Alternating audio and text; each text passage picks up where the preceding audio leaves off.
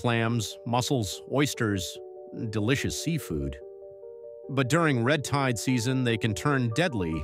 Red tides happen when algae bloom out of control. Some algae produce toxins. Shellfish filter the water and store those toxins inside their bodies.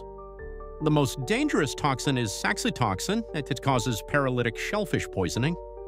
Symptoms start with tingling lips and fingers, then dizziness, nausea, muscle weakness. In severe cases, paralysis and respiratory failure. Cooking doesn't destroy the toxin. Boiling or frying won't make shellfish safe. That's why public health agencies close beaches and issue warnings during red tide outbreaks. For people who ignore the warnings, even one serving of contaminated shellfish can be fatal. Not all shellfish are dangerous, only those harvested from toxic waters. That's why safe sourcing is critical. So the next time you enjoy seafood, trust the season and the source, respect the ocean's warnings, like, share, and follow for more hidden truths.